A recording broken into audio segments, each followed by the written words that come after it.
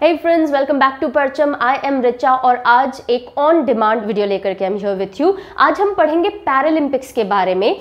Paralympics की शुरुआत कहाँ से होती है? uh, कौन सी इंटरनेशनल कमिटी है जो उसे गवर्न करती है? उसके बारे में थोड़ा समझेंगे जानेंगे।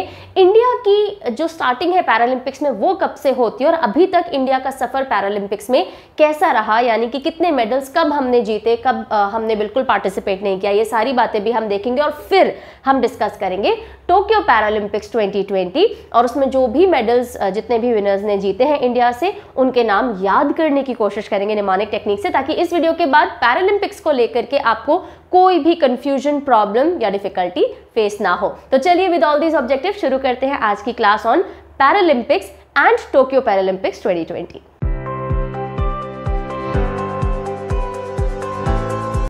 चलिए तो सबसे पहले देखते हैं हिस्ट्री ऑफ़ पैरालंपिक्स हमने जब ओलंपिक्स के ऊपर वीडियो पूरा डिस्कस किया था, तब भी हमने देखा था ओलंपिक्स की शुरुआत कहाँ से होती है, फिर इंडिया कब से उसमें पार्टिसिपेट करना शुरू होता है, और फिर हमने इंडिया की पूरी जर्नी पढ़ी थी। इसी तरह से पैरालंपिक्स पढ़ेंगे तो सबसे पहले हम आगे बढ़े, उससे पहले आपके लिए क्वेश्चन दे देती हूँ मैं, ताकि आप कॉमेंट करके बताएँगे मुझे, और यही मुझे समझ भी आ जाएगा कि आप कितना मेंटली प्रेजेंट है। बताइए ओलंपिक्स कौन से ईयर में स्टार्ट हुए थे? ओलंपिक्स की शुरुआत कौन से ईयर में हुई थी? Okay okay? तो ये आपके लिए पहला सवाल है। अब जब ओलंपिक्स चल रहे थे लंदन के अंदर 1948 में, ये बात कब की है? 1948 की। तो 1948 लंदन ओलंपिक्स की जो ओपनिंग सेरेमनी थी, उसमें डॉक्टर ल्यूडविक गटमैन एक व्यक्ति थे, उन्होंने क्या किया? उन्होंने कंपटीशन ऑर्गेनाइज करवाया 16 injured serviceman male and female के लिए आर्चरी का। जो लोग व्हीलचेयर पे बैठे हुए थे, उनके लिए उस ओपनिंग सेरेमनी में पहला एक ऐसा कंपटीशन लंदन ओलंपिक्स में चालू करवाया गया आर्चरी का और उसको नाम दिया गया, उस पर्टिकुलर गेम या कंपटीशन को नाम दिया गया स्टोक मैंडविल गेम्स क्या नाम दिया गया? स्टोक मैंडविल गेम्स और ये हालाँकि पैरालंपिक वर्ड यूज़ नहीं किया गया, लेकिन एक तरह से एक ग्राउंड बन गया, एक एक, मील का पत्थर साबित हुआ या माइलस्टोन साबित हुए ये स्टोक मैंडेवल गेम्स के आगे जाके बिकॉज़ इन्हीं को दूसरा नाम दिया गया। कुछ सालों बाद और क्या नाम मिला? पैरालंपिक्स तो पैरालंपिक गेम की शुरुआत कहाँ से होती है? नींव कहाँ रखी जाती है? तो वो समझेंगे हम पहले इस चीज़ से कि 29 जुलाई 1948 में जब ओपनिंग सेरेमनी चल रही थी लंदन 1948 ओलंपिक गेम्स की, तब डॉक्टर ल्यूडविक गटमिन जो ये पिक्चर है यहाँ पे, इन्होंने पहला ऐसा कॉम्पिटिशन ऑर्गेनाइज करवाया व्हीलचेयर एथलीट्स के लिए। ओके, और ये athletes ex serviceman and women रह चुके थे। और ये जो कंपटीशन था, ये आर्चरी का यानी तीरंदाज तीरंदाजी का हुआ और इस कंपटीशन को क्या नाम दिया गया था? Very good Stoke Mandeville games और यही गेम्स आगे जाके क्या कहलाए? पैरालंपिक्स कहलाए। कब से कहलाए? अब ये इंपॉर्टेंट है तो पैरालंपिक टर्म कब से यूज़ होने लगी इन गेम्स के लिए? So Stoke Mandeville games Paralympic कहलाए 1960 से। 1960 से 48 ओलंपिक, फिर उसके बाद 52 56 60 तो 1960 से हर चार साल बाद होंगे ये भी, ठीक है? सबसे पहले कब हुए पैरालंपिक्स अगर पूछा जाता है तो ये पहले हुए 1960 रोम, इटली के अंदर। और फिर उसके बाद हर चार साल में ओलंपिक की तरह ही पैरालंपिक भी ऑर्गेनाइज किए जाने लगे। पैरालंपिक का एक एक पहला रूप या इस, इसका प्रिकर्सर गेम किस नाम से जाना जाता था? तो स्टोक मैंडेबल गेम्स के नाम से जाना जाता था और उसी को बाद में पैरालंपिक का नाम दिया गया 1960 में। यहाँ तक की बात समझ में आ जाती है। वेरी गुड ये रोम 1960 पैरालंपिक्स का आपको सेरेमनी दिख रहा है। फिर हम बात करते हैं इसकी गवर्निंग बॉडी की।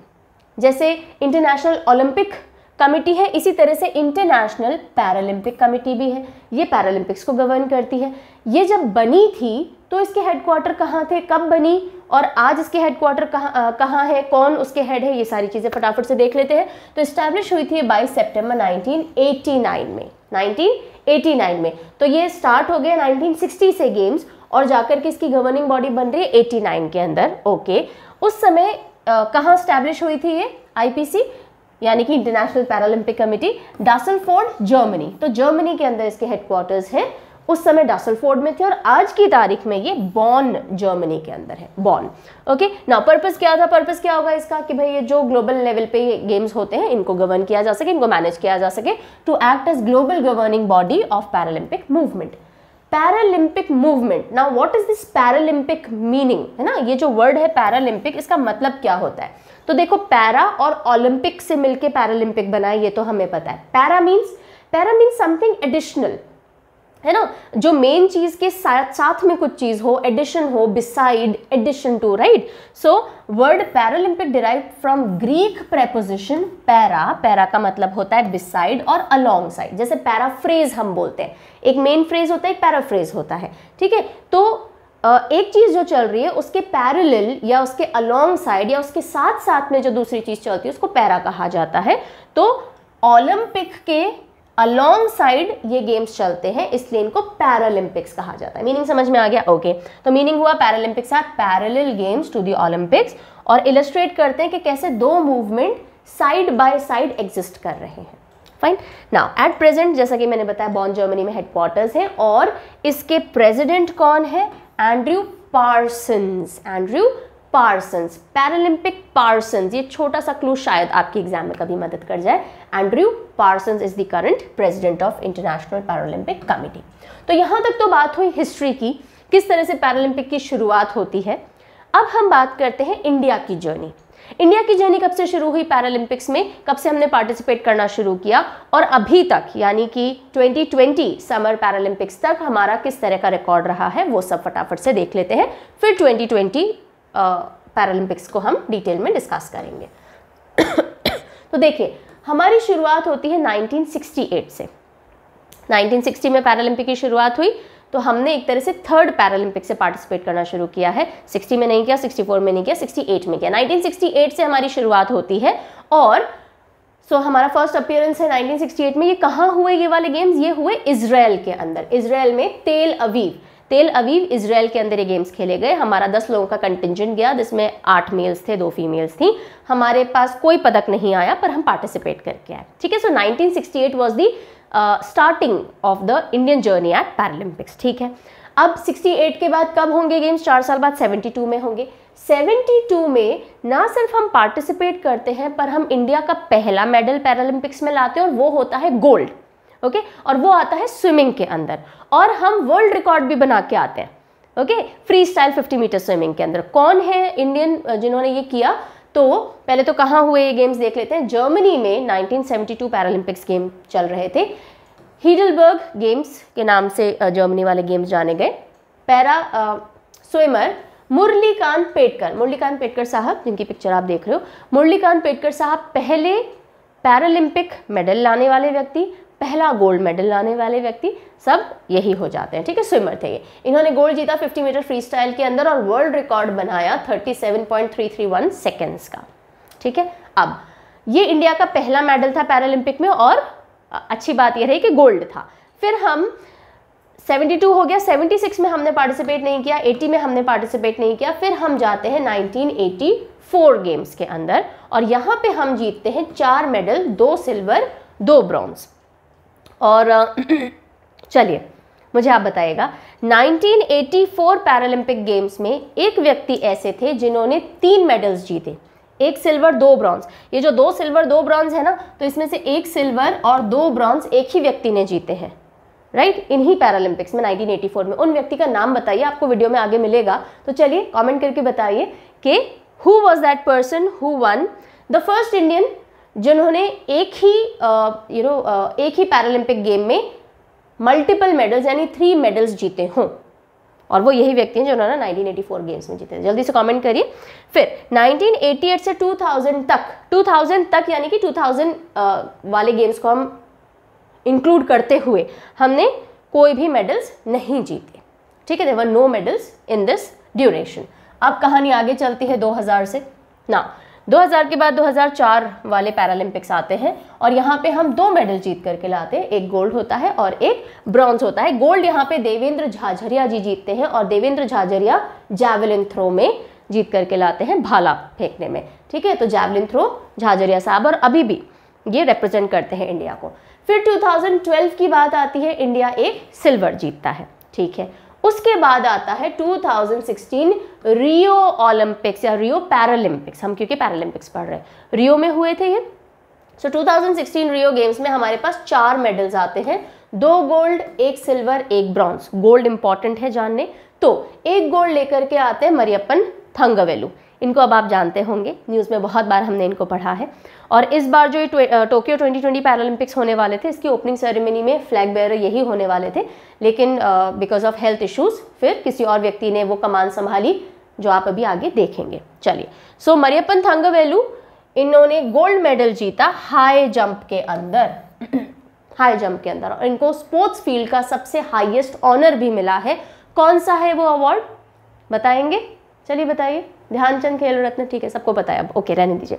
फिर फिर दूसरे व्यक्ति जिन्होंने गोल्ड जीता 2016 रियो पैरालंपिक्स में, वो है देवेंद्र झाझरिया जी। इन्होंने जावलिन में जीता। तो दो गोल्ड हम 2016 रियो गेम्स में लेकर के आए। यहाँ तक की कहानी में कोई प्रॉब्लम नहीं होनी चाहिए। तो सो फार यानी 2016 तक देवेंद्र झाझरिया जी दो बार गोल्ड मेडलिस्ट रह चुके जैवलिन थ्रो के अंदर और मरियपन थंगवेलू रह चुके। एक बार गोल्ड मेडलिस्ट, किसमें? लॉन्ग जंप में। वेरी गुड ठीक है। अब हम आते हैं 2020 समर पैरालंपिक्स पे। तो इस बार जो पैरालंपिक्स हुए थे कहाँ हुए थे? टोक्यो में हुए थे। उनकी थोड़ी बहुत एक बार ब्रीफिंग देख लेते हैं फिर हमारे मेडल विनर्स पे चलेंगे। सो so, ये थे सिक्सटीन एडिशन ऑफ़ पैरालंपिक्स सोलवा एडिशन था। हर एक चीज़ जो यहाँ लिखी है वो important examination point of view से। सिक्सटीन समर पैरालंपिक गेम्स थे। तो एक समर गेम्स होते हैं विंटर गेम्स होते हैं ना? ये sixteen edition of summer games था, इस बार ये टोक्यो में हुआ था। ऑर्गेनाइज किया था इंटरनेशनल पैरालंपिक कमेटी ने, यही ऑर्गेनाइज करेगी हर बार। ऑफिशियल मैस्कॉट ये जो पिंक कलर में आपको दिख रहा है, ये official mascot it was known as Someity Someity अब चलिए, यहीं पे अगला क्वेश्चन आपके लिए आ रहा है। ओलंपिक्स का। ये तो हम पैरालंपिक्स पढ़ रहे हैं। ओलंपिक्स का ऑफिशियल मैस्कॉट किस नाम से जाना गया? 2020 ओलंपिक्स का। ऑफिशियल मैस्कॉट जैसे पैरालंपिक्स का सोमेती और नॉर्मल ओलम नॉर्मल ओलंपिक्स का किस नाम से जाना गया? जल्दी से मुझे आप बताएँगे। चलिए, और मोटो क्या था? United by emotion united by emotion चलिए, अब हम बात करते हैं 2020 समर पैरालंपिक्स में इंडिया का परफॉर्मेंस किस तरह का रहा? तो और उससे जुड़े हुए कुछ इंपॉर्टेंट पॉइंट्स जो एग्जामिनेशन पॉइंट ऑफ़ व्यू से तवज्जो या वेटेज रखते हैं।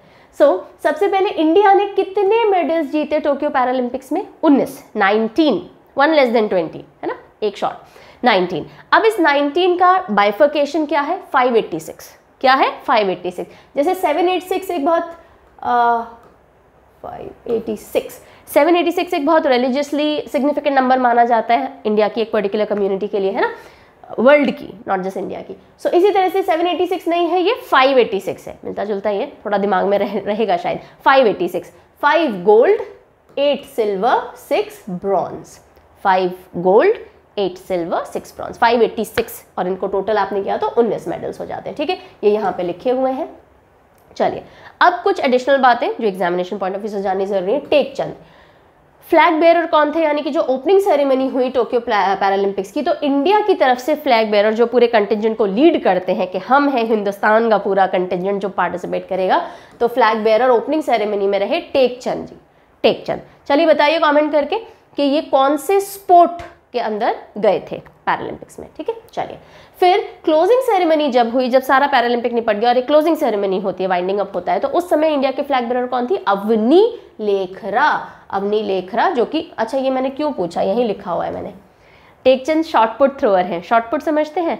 वो एक बहुत भारी सी गेंद होती है शॉर्ट शॉर्ट पट बोलते हैं, और उसको थ्रो किया जाता है। तो शॉर्टपट और Avani Lekhara is a shooter तो ये क्लोजिंग सेरेमनी में फ्लैग बेरर थी। दोनों याद रखेंगे आप टेकचंद एंड अवनी लेखरा ना जो आ, हमारा थीम सॉन्ग था पैरालंपिक का वो क्या था? कर दे कमाल तू अनुराग ठाकुर जी ने इसको लॉन्च किया था जो उस समय और अभी भी यूनियन स्पोर्ट्स मिनिस्टर हैं ठीक है। फिर India participated in nine sports हमने टोटल नौ स्पोर्ट के अंदर पैरालंपिक्स में पार्टिसिपेट किया और टोटल कितने एथलीट्स ने पार्टिसिपेट किया? 54 ने पार्टिसिपेट किया ठीक है। अब हम आ जाएँगे एक और इंपॉर्टेंट फैक्ट पे और फिर मेडल्स पे चलेंगे। तो एक इंपॉर्टेंट फैक्ट कि इस बार पैरालंपिक में, यानी 2020 के अंदर दो गेम्स ने डेब्यू किया पैरालंपिक्स में। ठीक है? एक था बैडमिंटन दूसरा था ताइक्वांडो अभी तक बैडमिंटन पैरालंपिक्स में नहीं खेला जाता था ताइक्वांडो भी नहीं खेला जाता था। इस बार ये दोनों इंट्रोड्यूस हुए और दो गेम्स बाहर किए गए। कौन से दो गेम्स बाहर किए गए? Sailing and seven a side football ये दो चीज़ें हटा करके बैडमिंटन और ताइक्वांडो इंट्रोड्यूस किया गया। ठीक है? अब हम आते हैं मेडल विनर्स पे। ये लिस्ट आपको कई जगह मिल जाएगी। न्यूज़पेपर्स में कई जगह थी, बहुत से साइट्स पे मिल जाएगी, बहुत से चैनल्स पे मिल जाएगी। इसको थोड़ा सा दिमाग में स्टोर करने में बस I will try and help you बाकी अवेलेबल तो हर इन्फॉर्मेशन हर जगह है। चलिए सो गोल्ड विनर्स कितने गोल्ड मेडल्स थे हमारे पास? फाइव फाइव गोल्ड मेडल्स है ना? तो अब उन फाइव गोल्ड मेडल्स में से देखिए, एक आया जैवलिन थ्रो में, यानी भाला फेंकने में। और किसने जीता? अंतिल साहब। सुमित अंतिल। सुमित अंतिल। तो अभी सिर्फ़ एक बार नाम पढ़ लो। अंतिल, आप कैसे याद रखोगे? देखो, युद्ध में भी भाले फेंके जाते थे और किसी के ऊपर भाला फेंक दिया तो उसका अंत हो जाएगा। तो आपसे सवाल कैसे पूछा जा सकता है? कितने गोल्ड आए इंडिया के पास? या फिर जैवलिन के अंदर किसने गोल्ड मेडल जीता? या सुमित अंतिल ने कौन सा मेडल जीता? इस तरह से सवाल पूछे जाएँगे। तो आपको पता होना चाहिए पहली चीज़ कि पाँच गोल्ड मेडलिस्ट थे। उन पाँचों के आपको नाम पता होने चाहिए। और उन पाँचों व्यक्तियों ने कौन से स्पोर्ट के अंदर वो गेम जी, वो मेडल जीता ये भी आपको पता होना चाहिए ठीक है? सो फाइव गोल्ड मेडल में पहला है सुमित अंतिल इन्होंने जैवलिन थ्रो में ये जीता और वर्ल्ड रिकॉर्ड भी बनाया 68.55 मीटर तक भाला फेंकने का ठीक है? फिर प्रमोद भगत प्रमोद भगत जी ये बैडमिंटन में इन्होंने गोल्ड मेडल जीता और इंडिया का पहला मेडल रहा ये बैडमिंटन में पैरालंपिक्स में। ज़ाहिर सी बात है, क्यों? क्योंकि पैरालंपिक्स में बैडमिंटन इंट्रोड्यूस भी पहली बार किया गया था। तो इस तरह से कंफ्यूज नहीं होंगे। अगर एग्जामिनर बोल दे पहली बार हमने कब जीता? तो भाई पहली बार खेला इस बार था। ठीक है? सो प्रमोद भगत जी, हमें दो गोल्ड मेडल मिले हैं बैडमिंटन के अंदर। एक प्रमोद भगत जी ने जीता है और एक कृष्णा जी ने जीता है, कृष्णा नागर। ठीक है? कैटेगरीज अलग अलग होती हैं डिसेबिलिटीज़ की, उसके हिसाब से इवेंट्स होते हैं। तो आप सोचेंगे दो गोल्ड मेडल कैसे? तो इवेंट्स अलग अलग होते हैं, ठीक है? सो एक रहा हमारा कृष्णा नागर जी के द्वारा जीता गया बैडमिंटन तो कृष्णा भगत, कृष्ण जी भगवान है? कृष्ण जी के भगत कृष्ण और उनके भगत ने मिलकर के बैडमिंटन खेला और जीता। ये आप छोटा सा हिंट याद रखेंगे। भाले के लिए मैंने आपको बताया, अंतल साहब कैसे याद रखोगे? भाला फेंक दो तो अंत हो जाता है किसी का। और फिर हम आते हैं शूटिंग पे। और जो पांचवा गोल्ड मेडल था, वो शूटिंग में मनीष नारवाल जी ने जीता। ठीक है, नारवाल। तो राजस्थान में लोकल भाषा में ना गर्दन को नाड़ बोलते हैं। नाड़ हिला दो, नाड़ हिला दो टाइप्स ना, नारवाल। तो आप चाहें तो इससे याद रख सकते हैं कि अगर आपको शूटिंग यू नो टारगेट करना है ढंग से तो आपकी नाड़ यानी गर्दन एकदम थोड़ी सीधी रहनी चाहिए। तो नार या गर्दन का थोड़ा सा एसोसिएशन कर सकते हैं। या किसी की गर्दन पे आपने गोली चला दी। मत चलाना भाई, मैं सिर्फ़ याद करा रही हूँ, ठीक है? So shooting Manish Narwal ji. तो हमारे जो पाँच गोल्ड मेडल्स थे सो एक आ गया जैवलिन थ्रो में अंतल जी। फिर दो आ गए बैडमिंटन के अंदर कृष्ण और उनके भगत। फिर एक आ गया शूटिंग के अंदर नारवाल साहब और एक आ गए अवनी लेखरा जी। शूटिंग में भी दो हैं, ठीक है? एक तो हो गए नारवाल साहब और दूसरी हो गई अवनी लेखरा। अवनी लेखरा पहली फीमेल बन जाती हैं, गोल्ड मेडल जीतने वाली। अवनी लेखरा पहली फीमेल बन जाती हैं शूटिंग में गोल्ड मेडल जीतने वाली, ठीक है? तो इस तरह से आपसे सवाल कैसे भी पूछे जा सकते हैं। तो शूटिंग में भी दो गोल्ड मेडल हो गए हमारे बैडमिंटन में भी दो हो गए और एक जैवलिन थ्रो में हो गया। अवनी लेखरा के बारे में देख लीजिएगा। इन्होंने दो मेडल्स जीते हैं सिर्फ़ गोल्ड नहीं जीता। इन्होंने ब्रॉन्ज भी जीता है। तो हम जो फाइव एट सिक्स बोल रहे हैं तो अवनी यहाँ भी है और अवनी इस सिक्स में भी है। ठीक है इन्होंने एक और कैटेगरी में ब्रॉन्ज मेडल जीता। सो so, गोल्ड uh, इन्होंने जो जीता है वो टेन मीटर राइफल के अंदर जीता एयर राइफल में और ब्रॉन्ज इन्होंने 50 मीटर थ्री पोजिशन के अंदर जीता है। ठीक है अब ये सेकंड इंडियन बन जाती है मल्टीपल मेडल जीतने वाली सेम पैरालंपिक्स में। यानी कि, भाई जैसे झाझरिया साहब है, उन्होंने भी दो मेडल जीते हैं, दो गोल्ड जीते हैं इनफैक्ट लेकिन उन्होंने अलग अलग पैरालंपिक्स में जीते थे, है ना? लेकिन अवनी लेखरा ने एक ही पैरालंपिक जो चल रहा है, उसी में दो मेडल्स जीते हैं। और ऐसा करने वाली या ऐसा हासिल करने वाली ये दूसरी इंडियन बन जाती है, क्योंकि पहले व्यक्ति वो थे 1984 वाले, जिन्होंने एक ही पैरालंपिक में तीन मेडल जीते थे, और वो कौन थे? अब नाम आ रहा है जोगिंदर सिंह सोधी साहब। जोगिंदर सिंह सोधी साहब, ठीक है? और इन्होंने 1984 गेम्स के अंदर तीन मेडल जीते थे, एक सिल्वर दो ब्रॉन्ज ठीक? चलिए। फिर अवनी लेखरा स्टेट की ब्रांड एम्बेसडर भी है, बेटी पढ़ाओ, बेटी बचाओ जो प्रोजेक्ट है, Beti Bachao, Beti Padhao women and child development का, राजस्थान गवर्नमेंट की, उसकी ये ब्रांड एम्बेसडर भी है। तो अवनी लेखरा एंड नारवाल। ये दोनों शूटिंग में लेकर के आए थे। चलिए सो इसके साथ हो जाते हैं गोल्ड मेडल्स कंप्लीट फिर हम आते हैं सिल्वर पे। कितने सिल्वर जीते इंडिया ने? 586 तो 8 8 सिल्वर मेडल्स आएँगे। जल्दी जल्दी देखते हैं। सबसे पहले टेबल टेनिस में।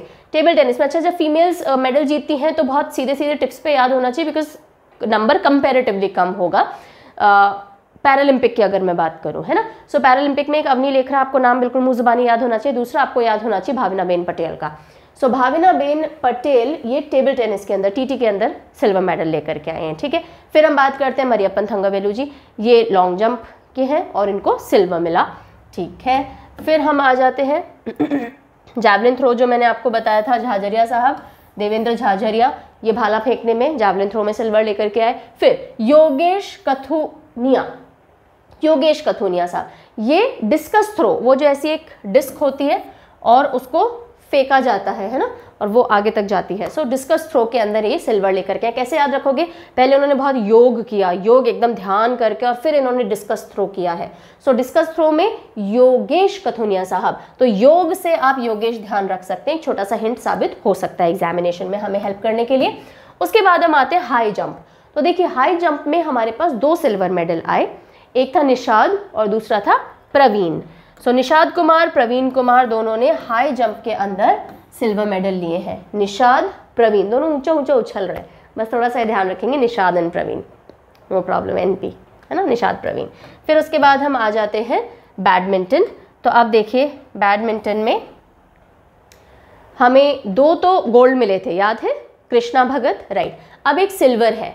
तो देखो बैडमिंटन में हम जब सर्व करते हैं सर्विस करते हैं सु और सामने वाले ने उसी पे स्मैश दे दिया। हास, सु, हास। तो सुहास यथिराज सुहास यथिराज लेकर क्या है silver. I know funny weird अजीब सा है, लेकिन इसे याद रहेगा। सु और हास। तो आपको सिल्वर मेडल बैडमिंटन में किसने जीता?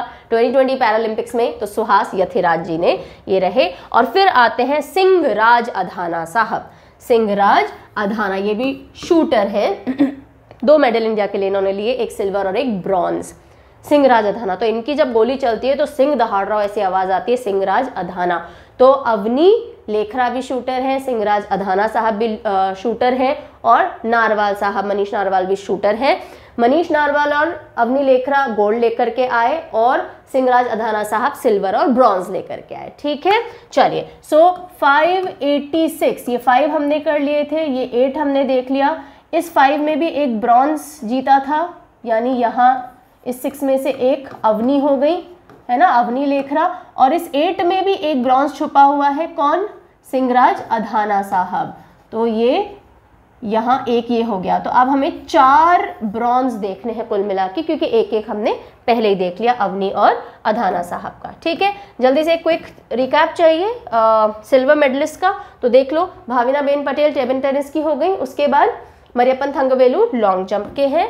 झाझरिया साहब जैवलिन थ्रो और योग योगेश कथुनिया डिस्कस थ्रो हो गए। फिर निषाद और प्रवीण हाई जंप हो जाते हैं। सु, हास, है ना बैडमिंटन और सिंगराज अधाना साहब शूटिंग दो मेडल लेकर के आए। फिर हम आते हैं ब्रॉन्ज विनर्स जो चार बच्चे हैं। तो सबसे पहले आप देख लीजिए सुंदर सिंह गुर्जर, ये भी जैवलिन थ्रो करते हैं। तो देखो जैवलिन के अंदर हमें तीन मेडल्स मिले इस बार। एक हमारा रहा अंतिल साहब जो गोल्ड लेकर के आए थे। झाझरिया साहब जो सिल्वर लेकर के आए थे और अब सुंदर सुंदर सिंह गुर्जर जी, है ना? तो इन्होंने भी बहुत सुंदर थ्रो किया। तो ये तीनों नाम आप याद रखेंगे। एक गोल्ड एक सिल्वर एक ब्रॉन्ज हमारे पास जावलिन पैरालंपिक्स में आया था। ठीक है। फिर Sharad Kumar high jump high jump Nishad और प्रवीण जी ने हाई जंप में सिल्वर दिया हमें और और वेरी गुड शरद कुमार शरद कुमार। शरद कुमार जी, इनको भी बहुत सर्दी लग रही थी। उन्होंने बोला, ऊँचा ऊँचा, कूदता हूँ। ठीक है? कैसे भी करके निषाद, प्रवीण और शरद आपको दिमाग में बिठाने हैं हाई जंप के लिए। निषाद और प्रवीण को सिल्वर मिला है और शरद कुमार जी को तीनों कुमार हैं। तीनों कुमार हैं ना? और इनको हाई जंप में ब्रॉन्ज मिला है। फिर हम देखते हैं आर्चरी में। तीरंदाजी। आर्चरी एक ही मेडल आया हमारे पास और वो है ब्रॉन्ज मेडल और कौन लेकर के आए हैं? हरविंदर सिंह जी। हरविंदर सिंह जी। ठीक है? तो इन्होंने हरा दिया भाई ब्रॉन्ज लेकर के आ गए बाकियों को। तो हरविंदर सिंह जी आर्चरी में ब्रॉन्ज लेकर के आए। फिर हम आते हैं बैडमिंटन। बैडमिंटन में मनोज सरकार मनोज सरकार। तो देखो, बैडमिंटन में दो गोल्ड हमारे पास पहले थी, कृष्ण भगत, है ना? कृष्णा भगत। फिर एक सिल्वर था हमारे पास, किसका? सु हास, है ना? और ये है ब्रॉन्ज। ब्रॉन्ज में सरकार सरकार। तो कृष्ण भगत सुहास सरकार, ये चार हमारे पास बैडमिंटन मेडल्स रहे। ये हो जाते हैं हमारे चार ब्रॉन्ज और दो और कौन से हैं? अवनी लेखरा और सिंगराज अधाना साहब। सो विद दिस बहुत एक छोटा सा क्रिस्प वीडियो लाने की कोशिश की है आपके लिए, जितने भी इंपॉर्टेंट फैक्ट्स और इन्फॉर्मेशन हो सकती है, वो सब इसमें इनकॉपरेट की है। और एक लास्ट मैसेज इस वीडियो का आपके लिए छोड़ा है you are never a loser until you quit trying तो कभी भी ट्राई करना मत छोड़िए बिकॉज़ आपकी जीत आपकी ट्राइंग में ही है। एंड आई रियली होप ये वीडियो यूजफुल लगा होगा। Do let me know in the comment section अगर कोई डाउट क्वेरी है words of appreciation points of improvement some you know video request जो भी कुछ हो जो भी बातचीत करनी हो comment section is there I do read your comments on a regular basis so until we meet next take very good care of your self and keep trying bye